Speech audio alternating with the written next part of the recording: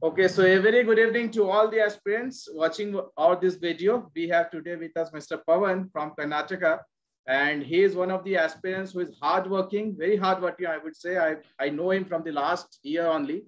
He was preparing for the NABARD, and finally this year he got selected, and he is working aspirant also. So it will be quite insightful how he managed his time with his work, and he will give, give his insights as well how he prepared for this examination. So Pawan, congratulations from my side to you for qualifying and getting into the select list of NABARD.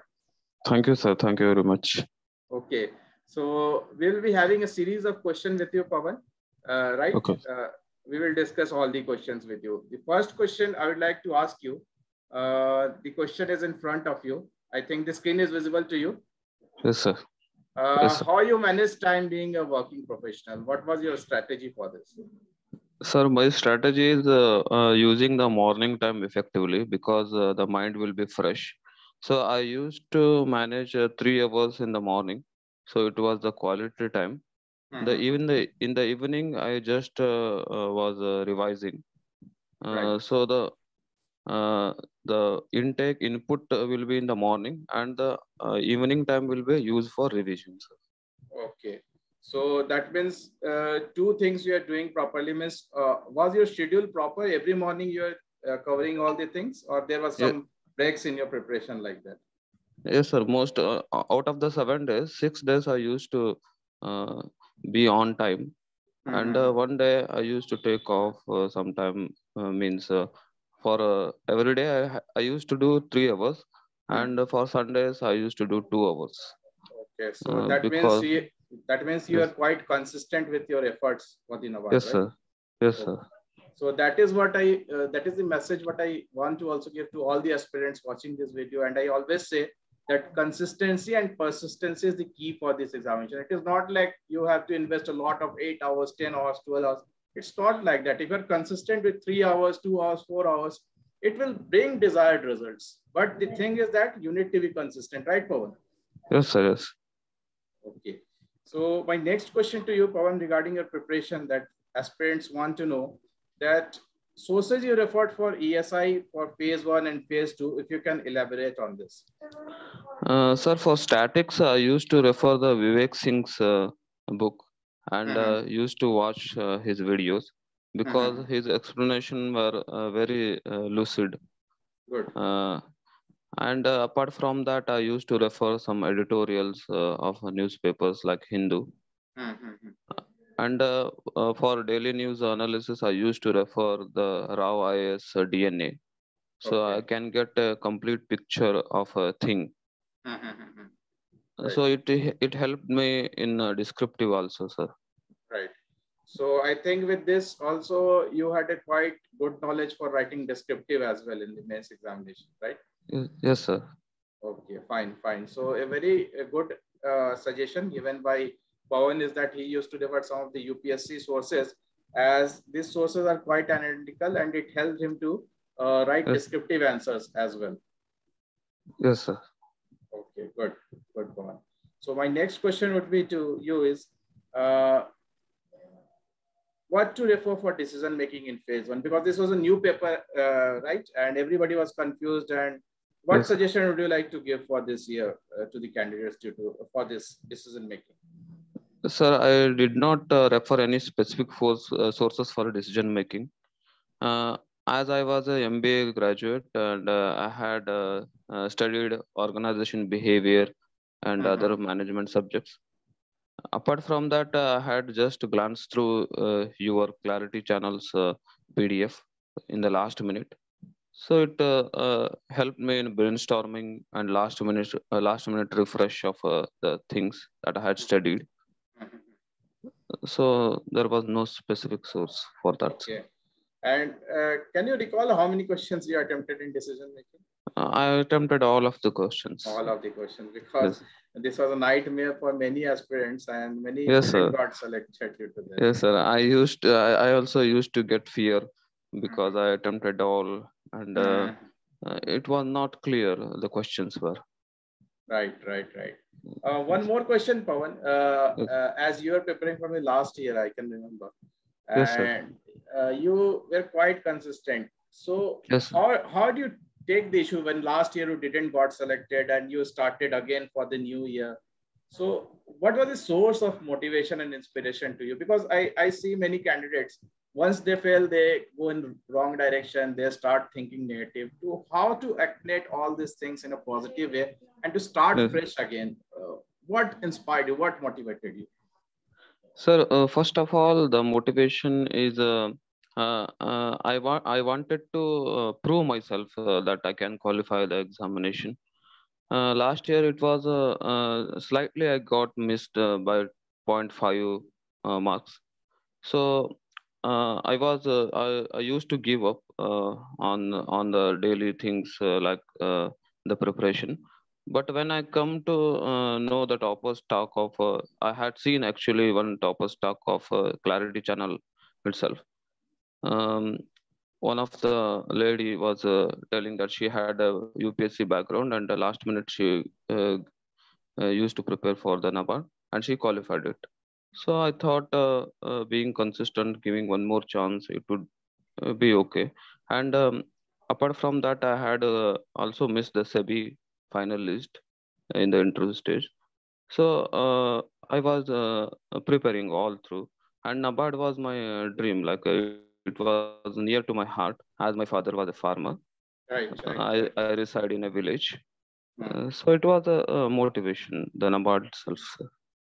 So I think the message is clear to all the aspirants who are watching this. See, Pawan lost by just 0.5 marks, right? And there was some sort of intent from inside to work for the farming community as he himself belongs to a farming family. And this intent led him to the success this time. So it, this is a very important that don't get disheartened. You are waiting list this year. Many are waiting list in pavan this year also. Yes. and they are calling me we will get selected or not so like that i'm saying that don't get disheartened. Maybe the other candidate who has who is in the 148 that selected list he has yes, worked sir. much harder right? So they yes, need to push harder for the next year. So get into the other side of the fence right? Sir one advantage is that uh, if you prepare if you maintain this consistency for next year it will be very easy uh, very to easy. ace the exam right, in the next right. year. Right so we just need to revise revise very good yes. very good very good yes.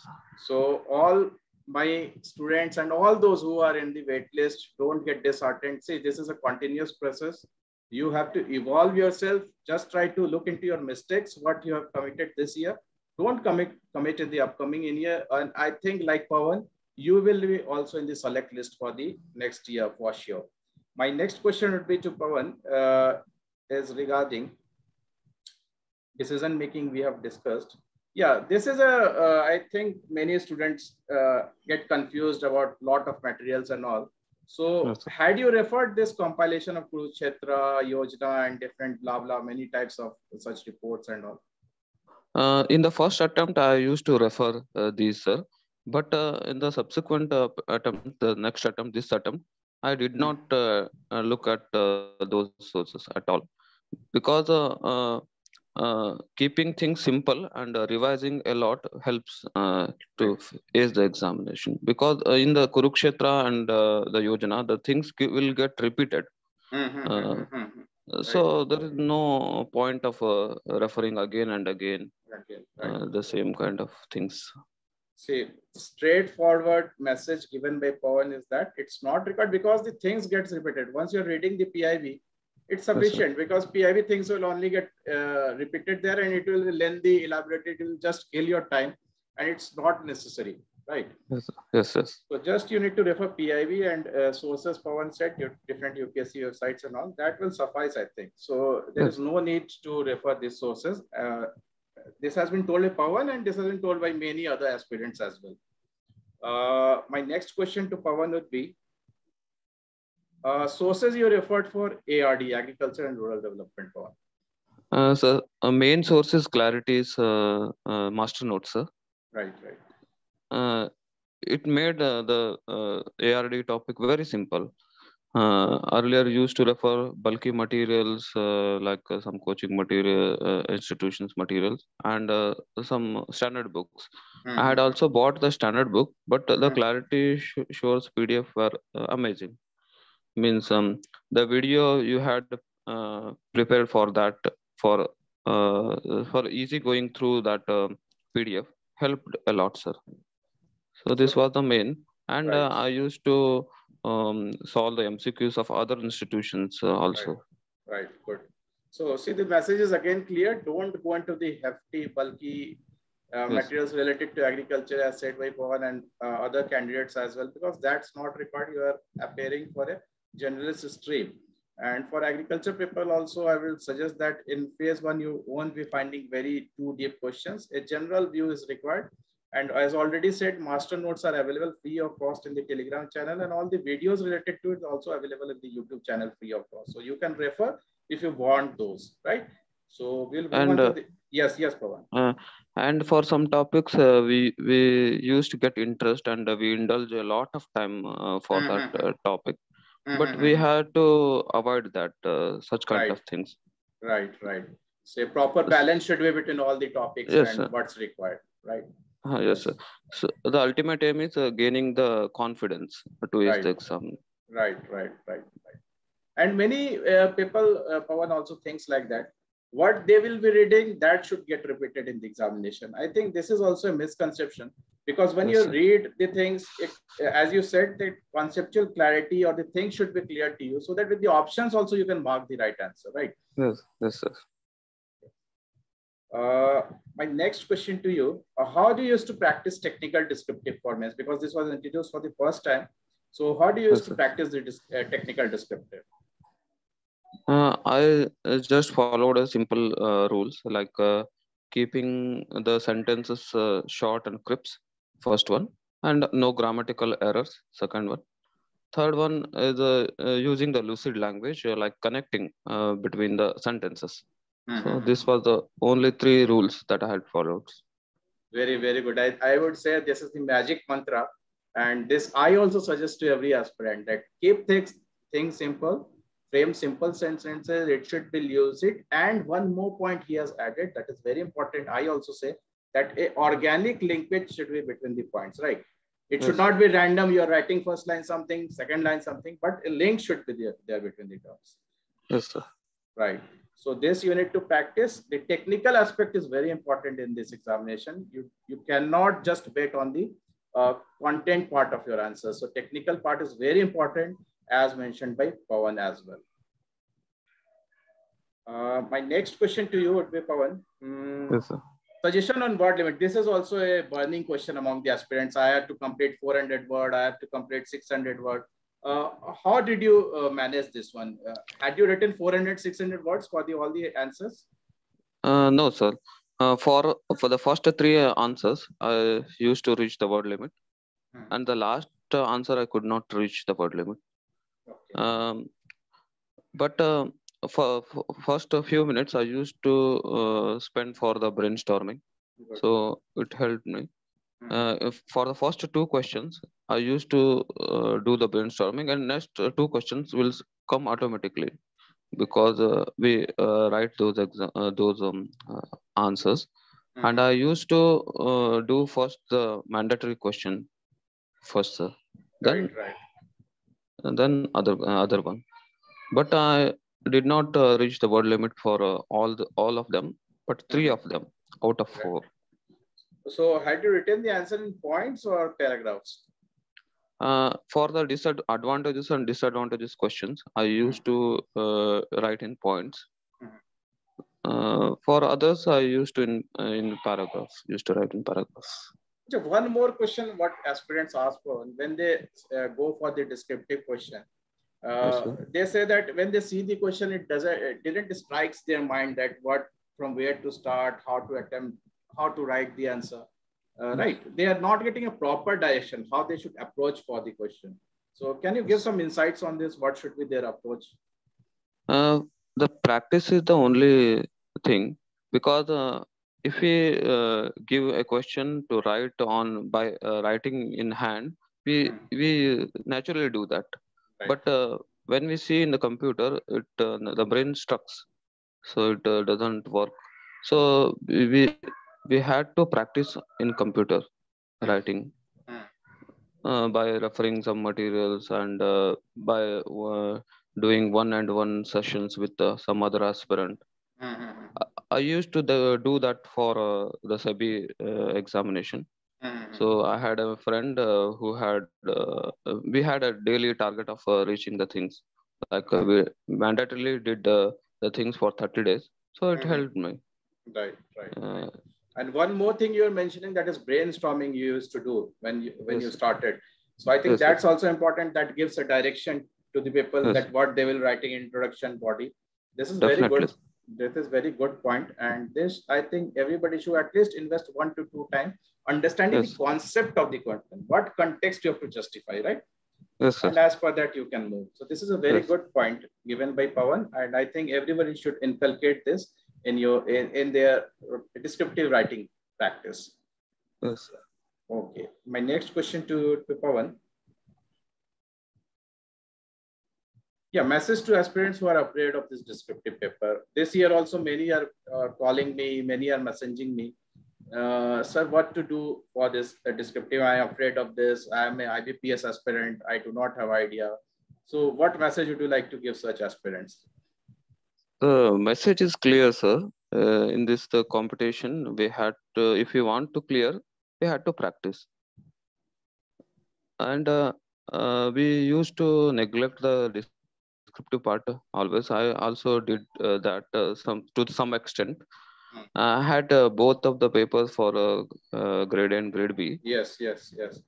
Comparatively, uh, for grade B, I did well uh, in my mind. I think Hmm. I I did well for grade B because I had a paper on grade grade A paper first day. Mhm, mhm. So if I had practiced uh, uh, some more, then I had my grade A will also be better. Mhm. Even though I had qualified, I may Hmm. had uh, get good marks. Right, right, right. So, So- uh, um, I uh, overconfidence is also not good. Not right, Yes. right. We had to practice. We had prac- to be down to earth. Right. Every right, time. right, every time. And that that reflects in his words also when he's giving this uh, session also. Uh, you can judge by his responses only how is down to earth after qualifying the examination also. You don't, should not be overconfident. You should always be down to earth and you should always practice. Practice is the key Yes. for everything, right? Yes, sir. Okay. Uh, so my next question to Pawan would be, this is my last question, Pawan. I don't, I would not take a lot of time. Yes, the English. See, this is also important topic because it carries a hundred marks as well in the examination. And Yes, sir. most of the aspirants starts thinking about English after the phase one is over. And Yes. I have seen that many aspirants uh, could not get into the select list due to English. So Yes. any message from your side, what should be done for this? Uh, I felt the en- English descriptive very easy this time Mhm. because uh, I just followed the simple uh, structure, the simple rules.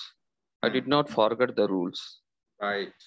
I did not bother about the content, but uh, it was technical thing. You- The content was good. Hmm. uh, that's the other matter. But uh, the rules we had to follow. It is a technical descriptive. We just Right. have to keep in mind. Right, right, right. Uh, so it, it felt uh, very easy for me. Just three questions in one hour. Mhm. Comparatively, the descriptive that we had to uh, type 600, 400 words. Right. And this time, I think English paper was quite easy uh, compared to Yes, the sir. last year because Yes, sir. Yes. the precis was not there this time. Yes, sir. And I was uh, um, um, introduced with the um, um, the uh, screen. Uh, So uh, last year I had faced the issue with the screen, and this Mhm. year uh, I used to know the, the screen is this, and I had to adapt for that. Mhm. I, I cannot complain, but I had to adapt for Right, right, right, right. This is very important.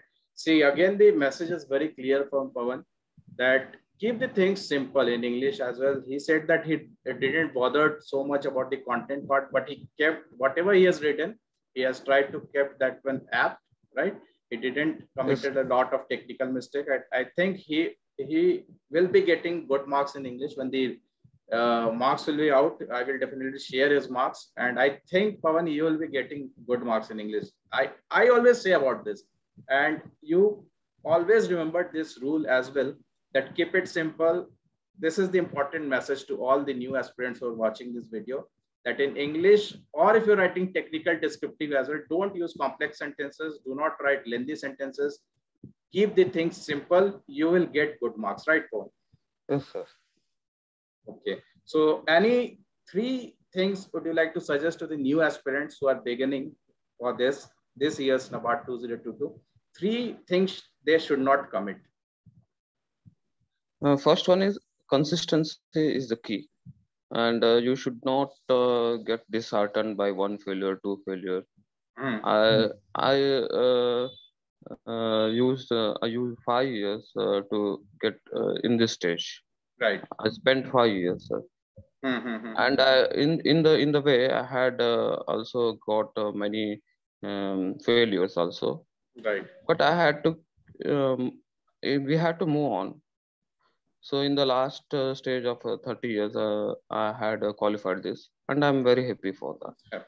See, what Pawan is saying consistency, just I will give one example, Pawan. Uh, I have my mobile with in my hand and uh, see how consistent Pawan you were from the last year only. Continuously, he has messaged me every morning. He used to wake up and he used to message me good morning and he used to start practicing. So this shows the importance of consistency, what Pawan is saying. So that's very important to all the aspirants uh, practicing. Yes, Pawan. Yes, sir. And uh, in the interview stage, uh, when I had uh, uh, taken a uh, mock with you, sir, mm-hmm. for the DAF analysis, and you told me one thing that many good aspirants who are uh, working hard did not qualify and you got chance and you had to use that mm. at that time i was uh, uh, like uh, uh, i qualified mains and just interview i can do but that message awakened me like i had to be serious and hmm. even though it is last stage i had to do well so right. the mentor is very important right. the mentor like I, uh, uh, he he used to awaken us uh, when we uh, uh, when we move away from the path. So that's very important. Right. Uh, right. I'm right. very I'm very lucky in this regard because for the two years you had mentor. Thank you, thank you, Pawan, for the gesture. See, one more message what Pawan has given See, Pawan, uh, many aspirants, they contact me, sir, this is my last chance. I'm 29 years. Uh, I will be 30 years. I am 28. They do not give preference to the older candidates. They only prefer young, fresh bloods. They only prefer freshers who have just graduated. I think this is a myth. This is a misconception. Yes, sir. So you have qualified other candidates as well. I was interviewing last day uh, they are also in the last of their attempt. They also qualified. So I think if you have written well examination, if you have given right mock uh, interview, I think definitely they will call you. Yes, sir. And uh, we, we should not uh, worry about uh, this is my last attempt. This time I did not worry about it at all. Mm-hmm. Last year I used to worry. even only one year I had got, I had qualify. I must qualify. Mm-hmm Mm-hmm. But this year I was uh, cool. Uh, like uh, whatever happens, happens. Happens. Right, right, right. So that's also important. Your mind should be free, yes. right? And you should yes. not think too much. Think, uh, take things lightly. That's important. Yes, sir. Okay. Okay. Thank you, Pawan. Thanks Thank a lot you, for sharing your valuable inputs to the upcoming uh, students, aspirants who will be preparing for this year. Thanks. Thanks a lot, Pawan. Thank you a lot.